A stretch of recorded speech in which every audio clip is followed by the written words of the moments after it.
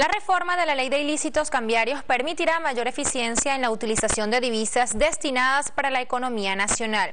Así lo considera el economista de la Universidad Central de Venezuela, Pablo Jiménez, quien señaló que el pueblo venezolano será el más favorecido. Para este académico no existen dudas de que la ley de ilícitos cambiarios tiene que ser reformada, ya que existen muchos empresarios que han desviado los dólares asignados por el gobierno para su propio beneficio.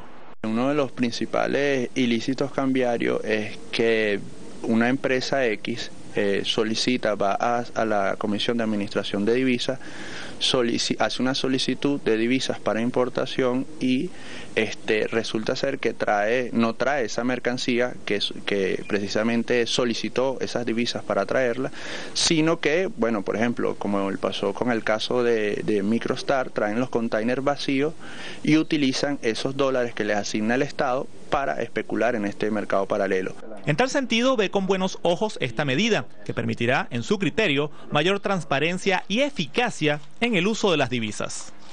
¿Podría la implementación de esta ley, como dicen algunos críticos, dañar la economía nacional?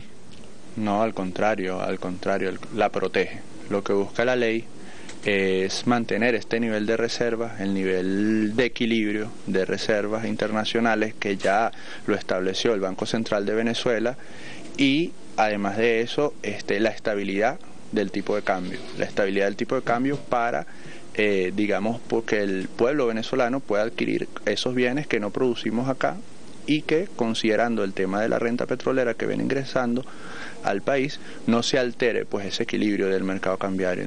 Para este analista es fundamental que Venezuela proteja la fortaleza de sus reservas internacionales mediante la reforma de esta ley, ya que estas reservas internacionales fueron las que permitieron el año pasado a nuestro país resistir los embates de la crisis capitalista mundial.